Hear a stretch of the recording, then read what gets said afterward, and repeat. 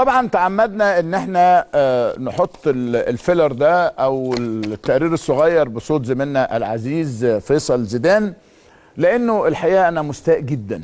يعني بقالي كام يوم مستاء.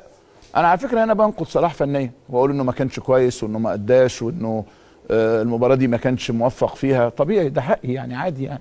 وبنقد صلاح لما بيعملش ما بيعملش حوارات مع ال- القنوات المصرية المراسلين اللي موجودين هناك. ده حقي. لكن أنا أقلل من قيمة محمد صلاح ده مش حق أي حد.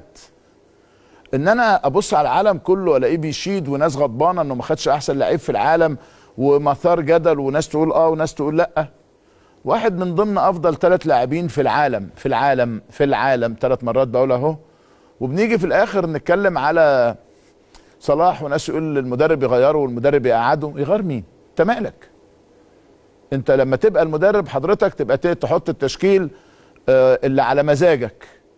أو لما يطلع لنا حد من المستظرفين عندنا مستظرفين كتير دلوقتي ما بقى في دلوقتي آه، شيء جديد يعني. اسمه المستظرفين المستظرفين آه، المستهبلين. آه والله. عندنا كده مستهبلين. هي أحلى المستهبلين يعني. عيب. عيب بمعنى عيب يعني. اولا في مدرب وفي مدرب وفي مدير فني وفي جهاز فني وفي آه، فرقة. والناس دي أضرب مصلحتها. هم اللي بيسيروا هم اللي بيدوروا هم اللي بيديروا هم اللي عارفين الصح من الغلط. اولا كمان مجرد وجود محمد صلاح في الملعب هو ضغط نفسي على المنافس دائما وابدا. لأنه ممكن صلاح ما يكونش موفق ممكن يعني ما تبقاش لحظاته أو دقايقه أو مباراته لكنه في ثانية يجيب جون زي غينيا بيساو. أو يعمل جون زي ما عملها لعمرو السولية بس طلعت فوق العارضة. أو يعمل إزعاج زي ما بيعمل كده على طول يعني. الناس دي أنا هسألها إذا ربنا أكرمنا بأمر الله سبحانه وتعالى وكان صلاح سببا في صعودنا إلى آه، الدور آه، ربع النهائي. هيبقى موقفهم إيه؟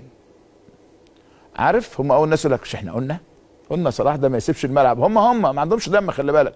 ما عندهمش ريحة الدم. ده ما عندهمش منه أي ريحة ولا شكل. فالحقيقة آه، هي بقت ظاهرة جديدة. وهي بقى ترند وريت ومتابعة ومش عارف إيه. شفت كم واحد اتفرج شفت كم واحد دخل آه، عقب شفت كم إذا كانت هتمشي كده مشوها كده. إذا كان كل ما ربنا سبحانه وتعالى يبعت لنا حد كل فترة آه، يبقى هو الأيقونة بتاع المنتخب وهنفضل بقى نقطع في فروته ونخلص عليه أنتوا أحرار. يا أخي قول إنه ما كانش كويس إنه ما اتحركش كويس إنه ما شاطش كويس إنه ما ظهرش بمستواه إنه ما ساعدش فرقته إنه عنده أحسن من كده إنه لابد إنه يكون أقوى إنه لابد إنه يسجل إنه لاب... كل ده قوله وقوله زي ما أنت عايز.